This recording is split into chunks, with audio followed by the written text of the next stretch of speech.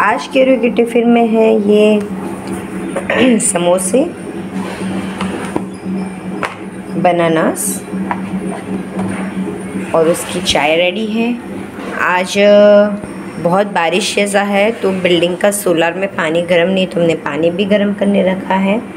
आज मैं अपने साथ नाश्ते में दूध और समोसे लेकर जाऊँगी क्योंकि आ, मुझे टाइम नहीं है, आज लेट हो गया है, सुबह उठने में इसके लिए। रोटी बना दी है मैंने, और जिसमें पूरी बनाती हूँ, उसमें मैंने उसके लिए मिनी कड़ी बनाई है। मैं यहाँ पे मिनी कुकिंग बहुत करती हूँ, क्योंकि मुझे उसके लिए थोड़ा थोड़ा बनाना रहता है इसलिए। तो छोटी सी कढ़ाई में छोटी सी उसके टेस्ट के अकॉर्डिंग कड़ी बना दी है मैंने, जो उसे बहुत पसंद है। शरबत। ये साथ में नींबू शरबत, जो इसका फेवरेट है। और ये मालास का रेडीमेड नींबू पानी है उसके अंदर पानी डाल दो। ये भी ख़त्म हो गया है तो इसको मैं डाल देती हूँ इसमें। अब ये पानी डाल के इसका नींबू शरबत बना दी और ये बॉटल रेडी है। ये बॉटल का शेप इसलिए ऐसा क्योंकि ये गिर गई थी मुझसे तो बेचारा अभी कभी सीधा ही नहीं हो पाया वो तो आज देखिए ये मेरे हस्बैंड आज केवरी के पापा मैं हमेशा बोलती हूँ वो मेरी हेल्प करते तो साक्षात देख लीजिए कैसे हेल्प कर रहे हैं। पूरी सब्ज़ी उन्होंने बनाई सिर्फ़ काटी है मैंने। आज रोटी भी यही बनाएँगे। नहीं अब मैं ही बनाऊँगी।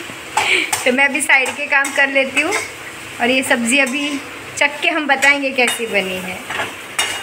सब्ज़ी तो बहुत अच्छी बनी थी तो हमने खाना खा लिया और अब मैं आई हूँ नागेश्वर मंदिर में दर्शन करने के लिए।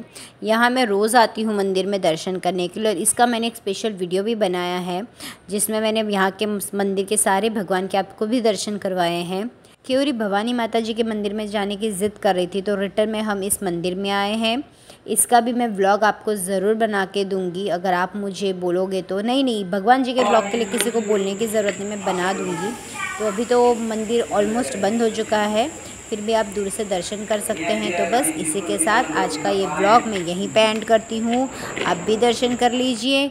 मिलते हैं नेक्स्ट ब्लॉग में। New viewers to subscribe old viewers like share and comment thanks for watching my video बब बाय आई होप मैं आप सबके दिल में धीरे धीरे आ रही हूँ, बस रही हूँ। आपको मेरे वीडियोज़ पसंद आ रहे हैं। So till then see you take care bye और इसी के साथ मैंने आपको यहाँ के परिक्रमा भी करके दे दी है मंदिर की. बाय